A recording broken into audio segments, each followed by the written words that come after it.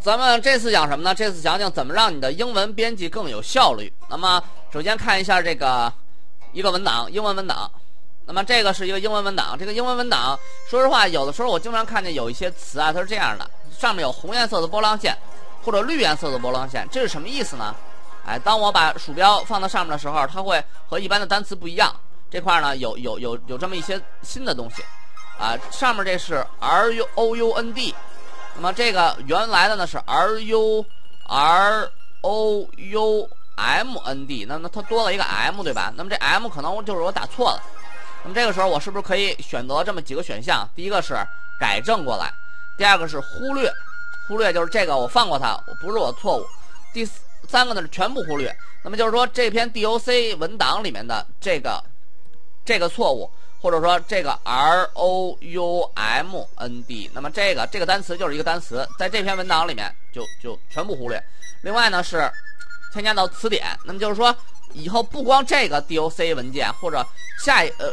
不光这一个 DOC 文件，其他的有这这个类似的 DOC 文件也可以，也可以。这是这是一个特殊的单词。那么这个时候，比如说我我呢可以选择什么呢？我可以选择啊改正。那么这个就是错的。那么确实有一些错误呢，可以通过这种方式来改。在哪儿呢？审阅审阅里面有这个拼写和语法。你可以看到这个检查两类错误，一类是拼写错误，一类是语法错误。这一类是什么呀？是不是语法错误啊？啊，两个 the 连用了，对吧？那么怎么办？删除一个 the。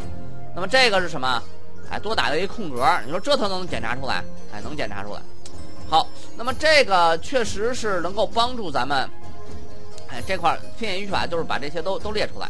那么忽略一次，全部忽略，添加到字典，这不用说了，对吧？更改，全部更改。哎，那么这个你可以可以设置成什么呢？这个更改。那么这个这个你可以看到，这个首字母就是句子的首字母应该大写。那么更改，那么这个怎么更改？如果说咱不更改了，说把这个东西不更改了会怎么样？添加到字典，添加到词典。那么添加到词典是不是以以以后这个就就就也可以用啊？那么咱们看看词典在哪儿呢？在这个拼写和语法这块儿有一个按钮，就选项，选项里面这儿有一个按钮，就是校对里面有一个自定义词典。你可以看到它这儿对应一个位置，对应一个位置。那么什么位置呢？哎，你可以看到就是这个位置，就是这个位置。这个位置我发现有两个文件，一个是 customer 叫 d a D O C，一个是 x excluded dictionary。那么这两个分别是什么呢？咱们不明白没关系，先打开看看。第一个里面它它有一个单词，就是咱们刚才添加到词典这个单词。啊，那我大概明白了。它每添加一个单词，它就会放往往这儿写写一次，对不对？那么咱们再试一下。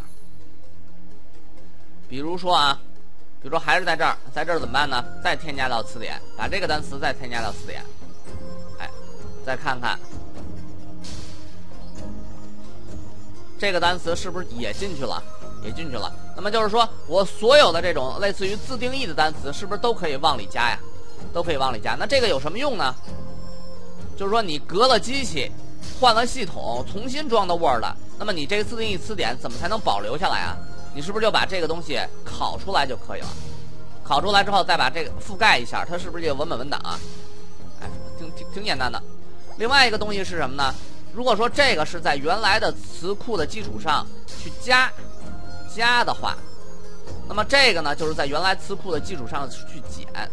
那么原来基础词库它不让动的，比如说有一些单词，比如说 cake，cake，比如说 take，take 这样的单词呢，它是已经在词库里面了，这词库不让你动，但是你可以设置这个 exclude dictionary，就是减去词典。如果你把 cake 放放进去了，那么以后 cake 就算不是词典里面的了。哎，这这个是这个意思，一个是加，一个是减。好，咱们继续啊。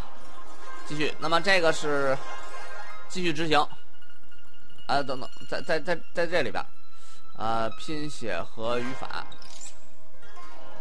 一定要是当前文档是吧？啊，这个这个是什么问题呢？是，哎，这这这这个就是这单词是吧？现在现在已经可以忽略了，哎，再检查一遍，it goes，it goes 中间多了一个空格，更改，那么这个时候你可以。就把这篇文档全都改完了，在你最后中提交之前，让计算机帮你检查一遍有没有单词拼错。啊，人不是机器，是吧？总总有可能说多摁了一个按钮，那么这个时候用这个工具可以帮你一下。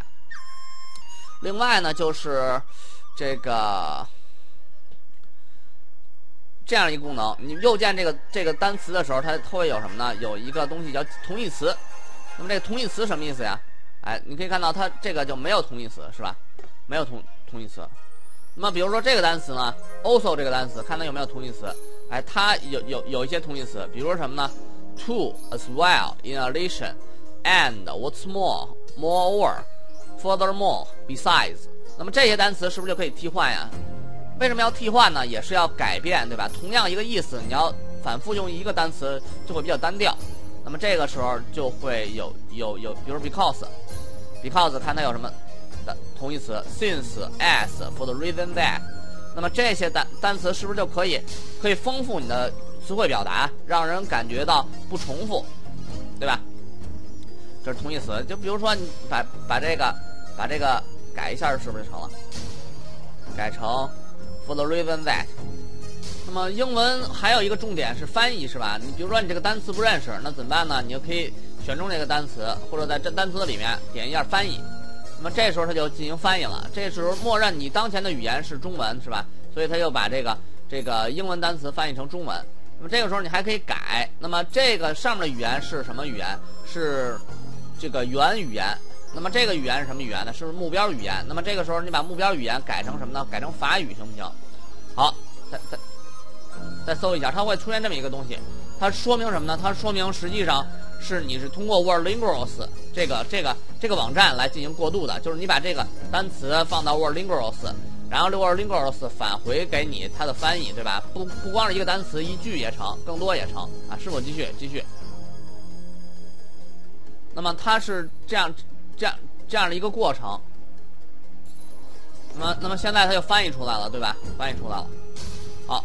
实际上，这个你整段是不是也能翻译啊？整段也能翻译。那么咱们现在看看中文，中文。那么中文这个是这个意思呀，太广泛了。